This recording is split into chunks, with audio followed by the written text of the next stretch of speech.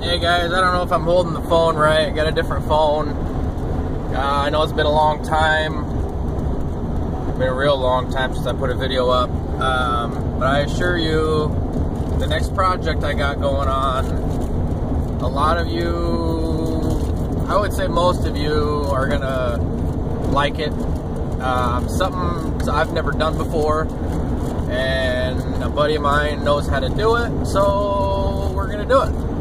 Um, not the same buddy, not Nick. Uh, I, I, wanted to do it out at his farm because everything's there, but with him selling it and stuff, I don't want to cluster up his shop. If you know it sells, I gotta pack up everything and go. So uh, here, let's see, what is the date today? April Fools, April first.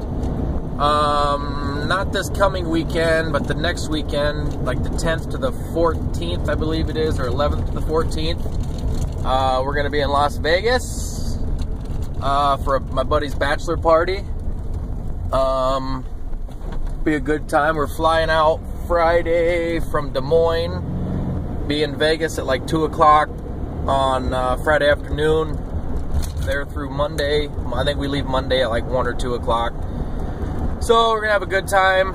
Um, I don't know. I'll have to try and remember how I'm holding this. That way, if it flips it on the screen you guys are watching, I'll know what to do next time. But uh, I'm not going to tell you what the project is yet, but uh, it's something I've been doing a lot of research on, and uh, I'm really interested in doing. So we're going to run with it. So uh, here in about two weeks, we'll start doing videos of what I'm doing, and hopefully any of you guys might have advice for me.